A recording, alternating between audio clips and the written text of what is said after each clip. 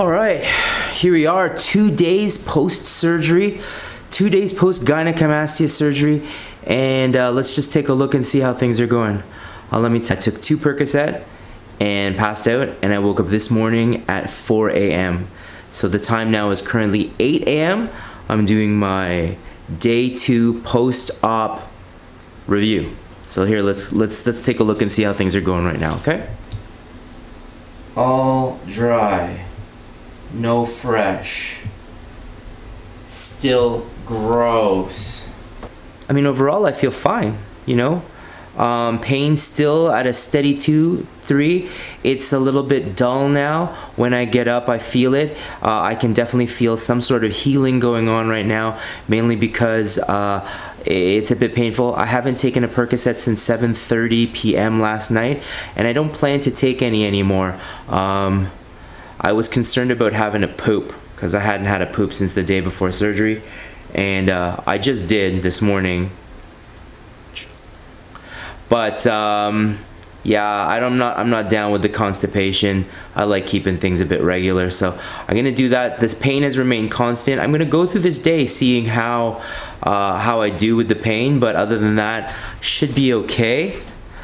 Let's see what else we got talking about here. What else we got to talk about? Oh yeah, uh, I wanted to mention I found another like monitor thing. I found that two days after the fact.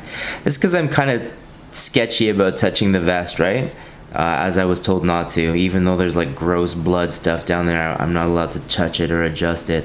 I did adjust it a bit tighter up on the right side here, uh, like a slightly, because it just felt like it was getting loose and I didn't want, I wanted things to stay tight in there so who's who knows what'll happen. Um, what else? Stuff is starting to get itchy. I think I need to take a shower today. It's been yeah since the day before surgery so I'm about two days out and I haven't had a shower yet. Um, I'm wondering how that's gonna go.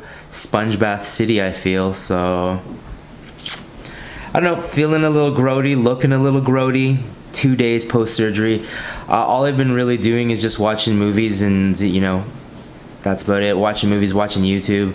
Shout out to Joe Robinet and Chef John from Food Wishes for uh, keeping me entertained while I recuperate.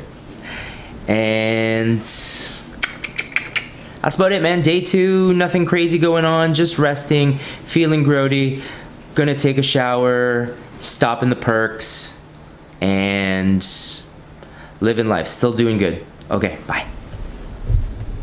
My goal with this video series is to help men who've just discovered that they have gynecomastia.